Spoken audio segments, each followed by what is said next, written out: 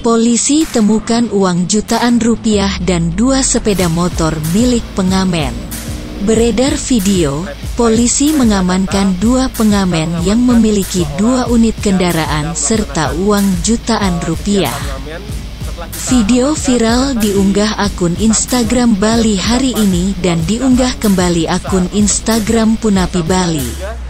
Polsek Denpasar Barat mengamankan dua pengamen di traffic light Jalan Mahendra Data.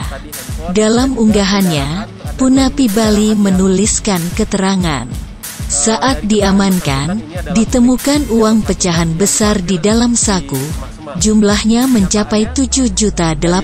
Secara ekonomi Selain itu, ditemukan pula handphone dan dua unit kendaraan yang diparkir di semak-semak. apabila ingin bersedekah kepada gelandangan dan pengemis mohon lebih bijak lagi karena ternyata orang-orang yang kita lihat secara tampilan fisik itu kurang ternyata mereka terpenuhi secara ekonomi dan ini mungkin contoh kasus dan akan kami uh, telusuri lagi berkaitan dengan Selanjutnya ini dikemanakan mereka? kami akan mintain keterangan terlebih dahulu di Polsek. Apabila sudah jelas kepemilikan uang dan kendaraan, akan kami serahkan kepada Satpol PP Kodia Denpasar demikian.